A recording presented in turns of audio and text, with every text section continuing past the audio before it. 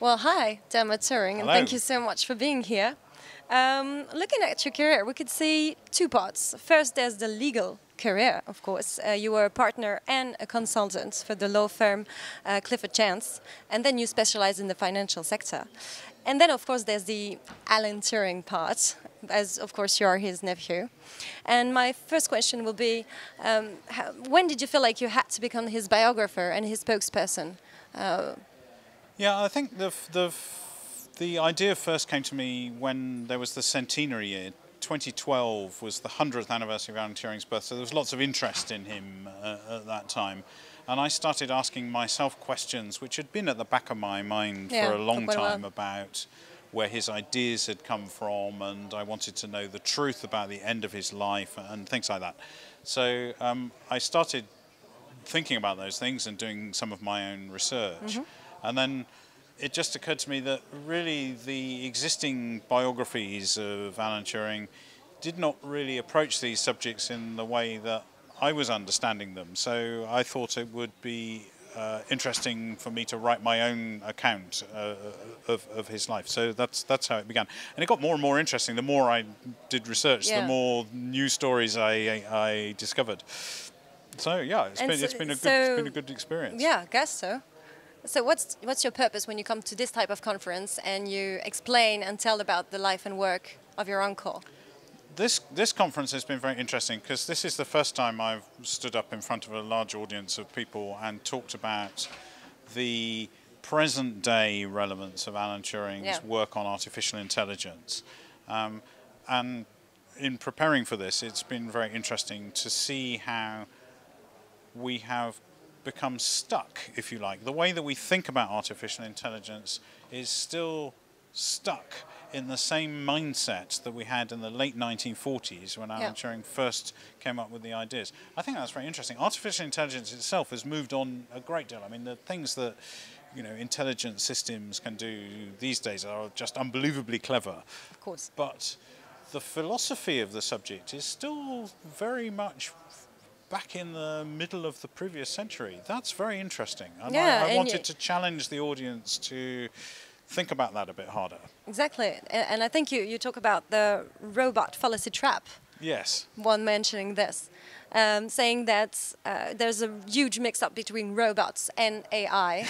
and um, so, how can we demystify that? How can we create a dialogue around it? Yes, I think uh, I think it's very difficult because people. Science fiction is great. I mean, I love science fiction movies. Everybody loves science fiction movies, but the problem is that science fiction movies then set the agenda for us when we're talking about artificial intelligence. Artificial intelligence is not something that you can see. It's not a robot that's going to come and I don't know. Um, beat you up or Yeah. you know it's, it's not going to um, artificial intelligence is a kind of thing that helps you when you put your passport into the machine it can do the facial recognition and see that it's you that wants to yeah. come into the country um, so we need to be clear that these are two separate things robots may have artificial intelligence inside them and be learning but uh, the, i think I'm not concerned about robots. I don't think that robots are going to take over the planet and uh, are going to, you know, I step out of the building, I'm going to be shot by a robot policeman. I don't think that's a real, real, real risk. All right. But I am, I am interested in how machine learning may evolve, how it may grow into something that's more intelligent than human beings are. And then, then there's a question: well, what are we going to do when we get to that stage? To what extent can we control somebody that is, or something that is more intelligent than us? And I, I don't know the answers to this, but we should, we should start the discussion. Yeah. So it won't be like with Enigma when it only it takes a machine to beat a machine. So do you think that could be the same with artificial intelligence? Well, I, uh, you might think that. I mean, f- first of all, I wondered whether you might be able to devise some kind of box that you could put your artificial intelligence project inside. Mm.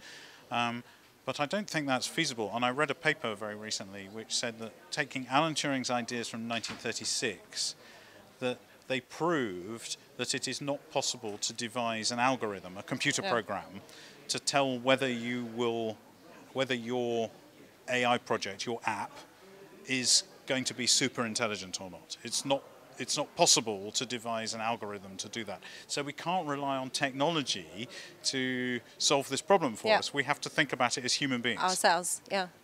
And what do you think Alan Turing would have think about uh, today's evolution of artificial intelligence? What do you think he would be particularly interested in or cautious about? I, you know, it's really difficult to know because obviously he's been dead for uh, a very long time and uh, things have moved on so much. I think he would probably be quite astonished by what we can now do. But the interesting thing, many people don't know this, that Alan Turing had moved away from work on computers. So at the end of his life, he was he was he'd moved into biology. Um, so he might have been interested in neuroscience, but uh, he was Yeah. looking at the growth and form of living things. That had grown out of his work on on artificial intelligence, curiously, but uh, and his work on cybernetics. But he was very interested in um, how, uh, if you, for example, you take a horse embryo. Okay, an embryo is shaped like a tennis ball, Right. and he says this is a this is a mathematical problem for us because uh, it has spherical symmetry. It has no top, no bottom, no front, no back, and yet uh, he says in his paper he says a horse is not a spherically symmetrical object. How can you disrupt that spherical symmetry and turn it into a horse? That's a very complex and interesting question. And he was working on equations, mathematical equations, to turn a sphere into something that looks more like a horse. So he he kind of moved into a completely new sphere. Field, so yeah. uh, it's it's very difficult to know quite where he might have gone next. Yes, of course. and do you know why he moved to this different field? What really made him want to go further, but not in the computer direction? He could have just gone further with the computer. Well, we're going to go back to robots, but it's a little bit more complicated than that. He All right. joined a group called the Ratio Club, um, which was a group of scientists. There were some biologists and there were some computer scientists and, and various other folks who were in this in this group, and they were looking at the problem that we now call cybernetics, which is essentially about how robots can work out Yeah. whether they're about to walk Yes, into the wall. Yeah, sure.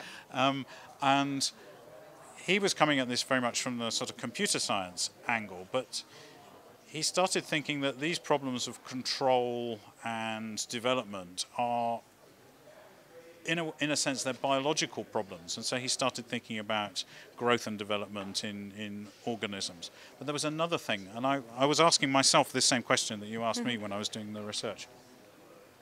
And I suddenly realized that the answer to the question had been staring me in the face because his professor in his uh, computer laboratory was Max Newman, and his mathematical specialism was topology. It was about shapes. Oh, right. Yeah. And so So- he'd been sitting there for 5 years talking to this guy. In fact, he'd known Max Newman since 1936, so he'd known him for nearly 20 years. And they've been talking about topology for 20 years. and I thought, you don't need to ask yourself, uh, it's not a difficult question. Where did I, why did Alan Turing start working on shapes? It's kind of because he was talking about it every day. yeah, pretty much. yeah, so uh, I thought, uh, okay, sometimes I realize I'm a bit stupid. And did he have any thoughts on ethics when he built uh, the machine that broke Enigma? Did he, did he think that he had built something so powerful that we would need to think about it in the future? I think not at that stage, um, because uh, it was, uh, if you like, an existential crisis for uh, Britain, just as it was for France in 1940. There was this existential problem that uh, it was either us or them. Yes. So I think the ethical questions became much simpler in in those days. Of course. But he, w- before the war, he was when he was studying in America, he started getting interested in codes and ciphers, and he. Uh, he wrote a letter where he said, "I think I've invented a new, really clever form of cipher. We we don't know what this was, um, uh, but he says I could sell it to the UK government, but I'm not sure about the ethics of that. So that's. Uh, So it did cross so, his mind. So, so he was certainly there. The ethical things were in in his mind. And just to talk um, one last time about Enigma, um, it took place, like breaking the code, took place in a really dire situation, like you said. The Allies were pretty much losing the war. Uh, do you do you think we need to be in dire situations or crisis to to see such scientific leaps occur? That's a very, a very interesting question, and one where I have listened to discussions on this, and there are some people who will say very loudly that we have amazing scientific breakthroughs every five minutes, and we're in the middle of a big uh, wave of scientific developments, and there are other people who say we have not done anything significant in science or mathematics mm. for 100 years. We have not had a theory of evolution, a theory of relativity. Yes. Alan Turing's paper on computable numbers. We have not had anything like that for over 100 years. So uh, uh, all I can do is say I'm not a scientist, so I don't know. what do you think anyway? well, I, I, have to say I'm constantly amazed at technology developments. I'm not sure about scientific theory, but technology developments are amazing. If you just look back 20 years ago when, you know, we didn't have mobile phones and we had if you were lucky, you had a fax machine, hmm. and mm. uh, you know you think about how just things have transformed the way that we uh, operate our lives. Yeah. We didn't have internet shopping. You know, I mean, how we? It's really difficult to imagine how how you actually found your way from Paris to Bordeaux without Google Maps. You know, how would you do that? I mean, how would you do that? You know, and we did it somehow. yeah. I can't remember. so have we grew dumb? we grew dumb with technology or yes. lazier? Uh, yes. So um, we've become much more dependent on things, and that provides new sources of threats to us for mm. the future, I guess. So people thinking about that. You know. Well, thanks a lot. That's all for my questions. Thank all you right. so much. It's been a pleasure.